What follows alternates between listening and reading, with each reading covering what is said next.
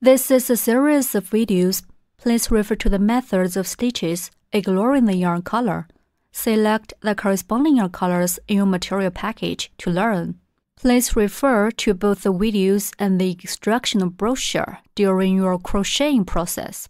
Please make sure to first view the beginning 10 instructional videos to learn the basic methods of crocheting, and then view the instructional videos for your purchased product. The Halloween bookmarks.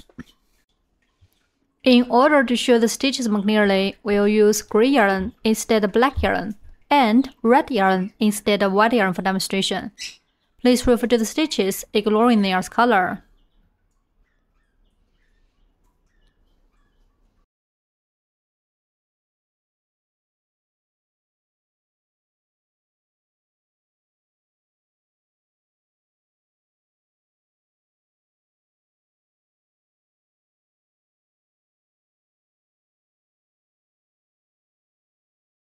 First, we'll crochet the main body of each bookmark.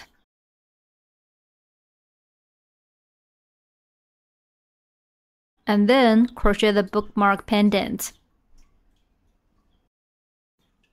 Take out the practice yarn and the corresponding crochet hook from the kit. Please watch the tutorial videos and practice the basic stitches first.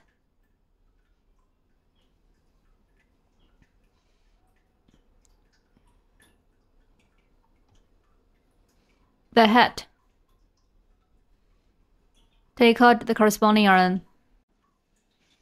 Wrap the yarn around your finger.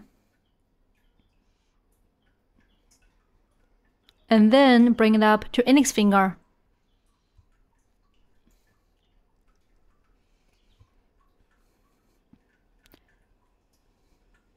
Pinch the yarn tail with your thumb and finger.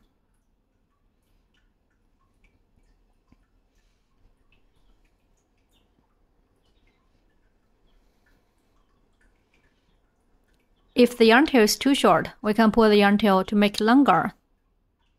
And we can pull the other side to shorten the yarn tail.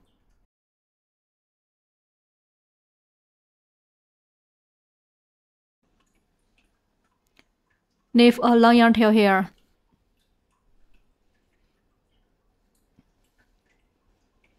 Work into a magic ring, make a loop around your middle finger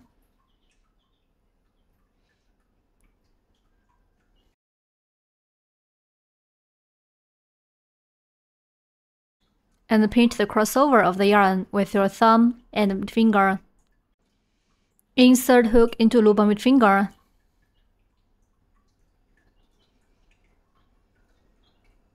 Yarn under the hook and flap loop.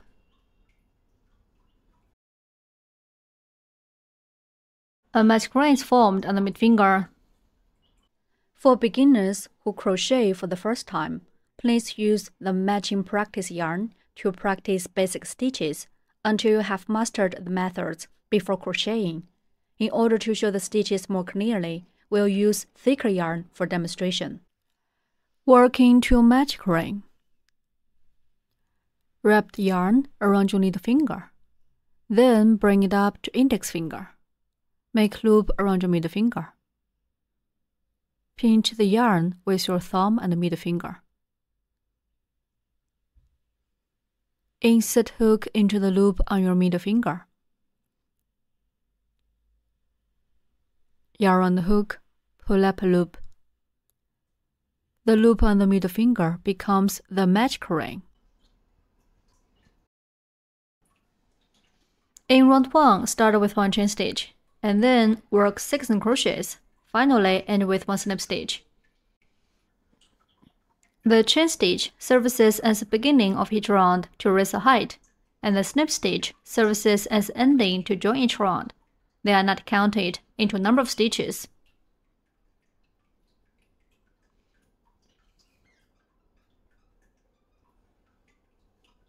Work one chain stitch first. Yarn over the hook and put the yarn through the loop on the hook. That's a chain stitch. First, work a chain stitch. Yarn on hook, pull the yarn through the loop on the hook. That's a chain stitch. Such a V shape is formed on the side. The chain stitch is trace the height and will not be counted into a number of stitches. Then work 6 crochets.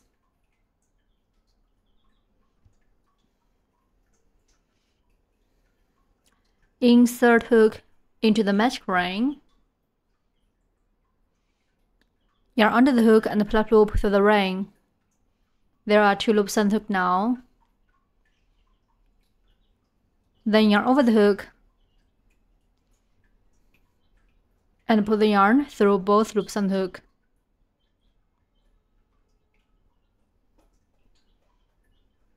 That's a single crochet. Insert hook into the magic ring. Pull up loop through the magic ring. There are two loops on the hook. Yarn on the hook. Pull through both loops on the hook. One single crochet is done. Such a V shape is formed on the side we need to mark the first stage of arrow round.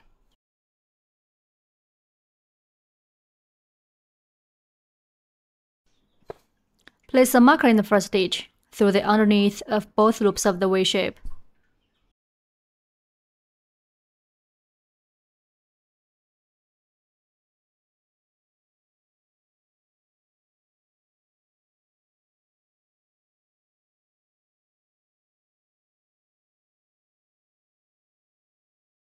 Insert hook into the matching ring. Yarn under the hook and pull plug loop through the ring. Then yarn over the hook and pull the yarn through both loops on the hook. The second single crochet is done.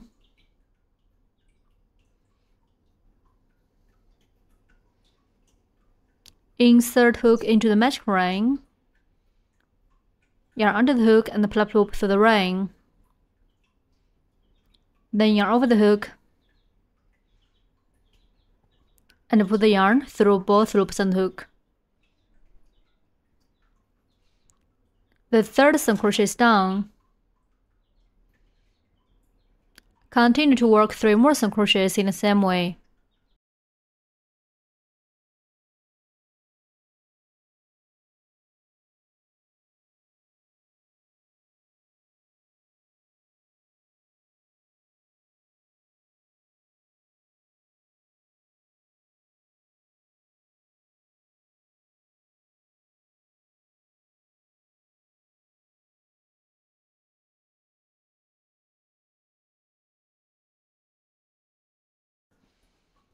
Six V shapes on the side stand for six crochets. We can count the V shapes to check the number of stitches.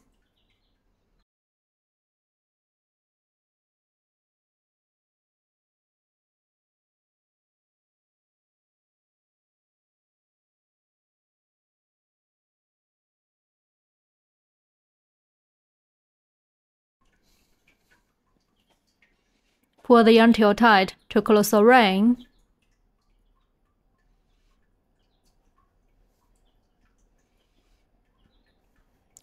Remove the marker and work one slip stitch in the first stitch to join this round.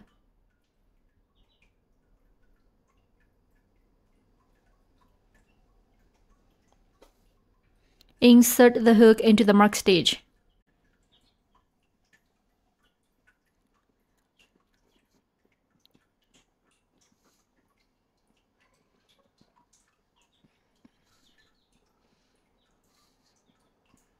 Yarn under the hook and plug loop through the stitch. There are two loops on the hook now. Then pull the first loop on the hook through the original loop on the hook.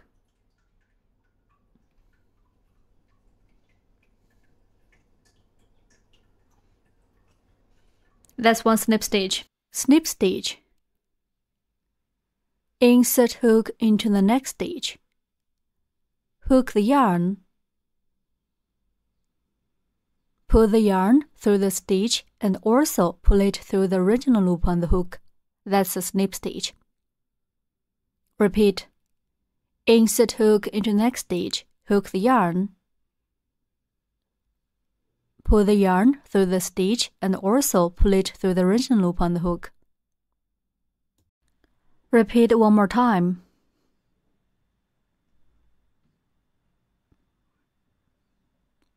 Okay, that's a snip stitch. The snip stitch serves as a connection. It's not counted into number of stitches.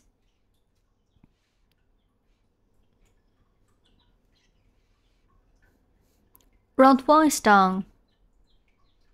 In round 2, start with one chain stitch, and then work 6 crochets. Finally, end with one snip stitch. Work one chain stitch first.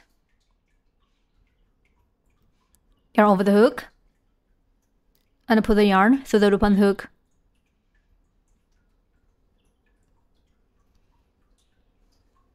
That's a chain stitch. The chain stitch illustrates the height and will not be counted into number of stitches. Then work 6 crochets. We need to work 1 crochet in each stitch.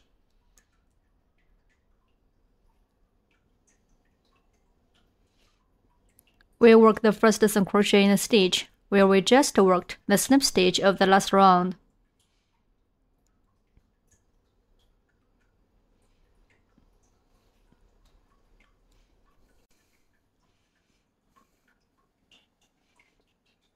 Each, each stitch, namely V-shape, has two loops.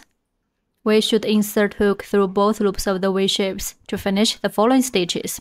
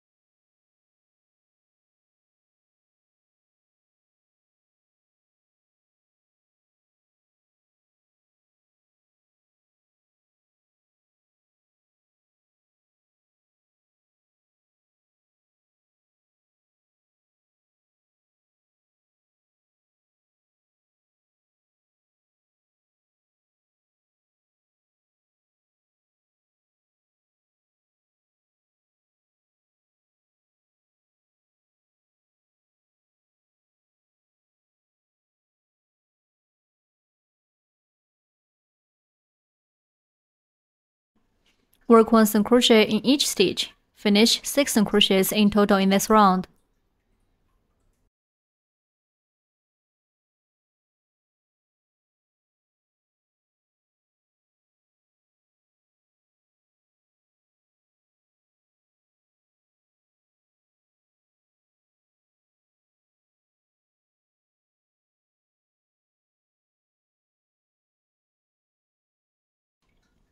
Remember to mark the first stitch of round.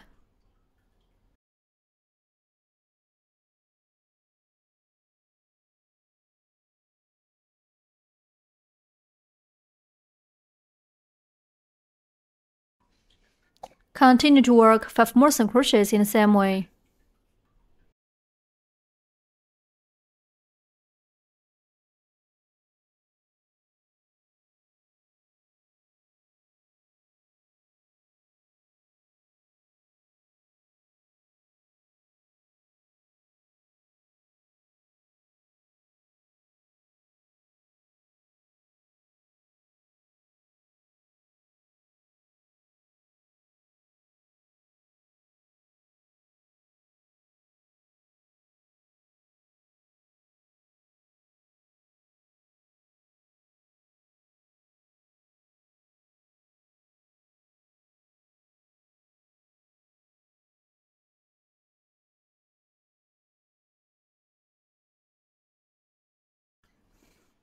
Six crochets done.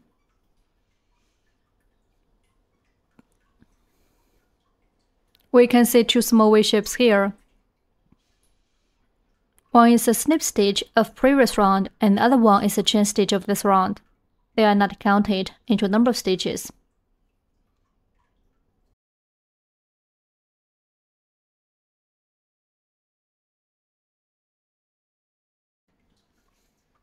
Skip these two way shapes and work one snip stitch in the mark stitch. Remove the marker.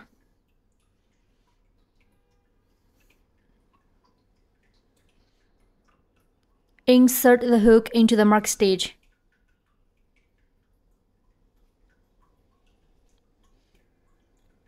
Yarn under the hook and pull up loop through the stitch.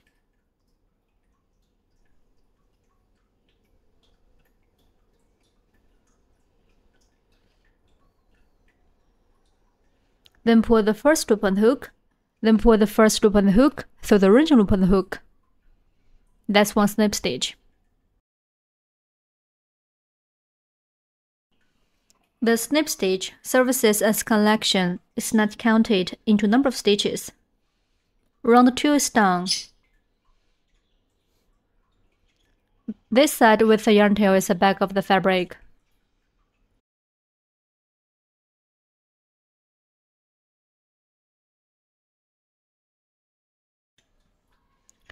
The other side facing us is the front. We'll crochet with the front side always facing towards us.